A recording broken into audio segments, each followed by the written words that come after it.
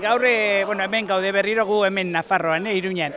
Baina adibidez, e, gazteitzen eta horiek, bueno, Bilbon, datorren astelen hasiko dire, eta Gipuzkoan berriz e, amaseian.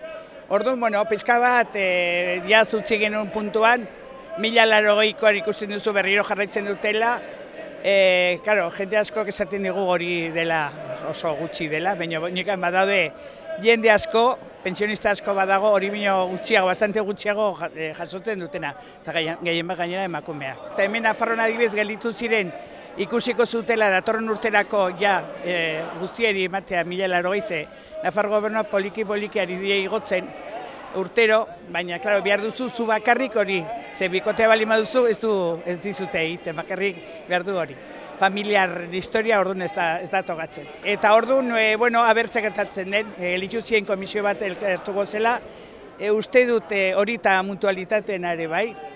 Baina, bueno, hemendik aurrera jakingo dugu laizter eta horren arabera ja planifikatuko dugu pizka bat urtean, urtean zehar egingo duguna eta hori.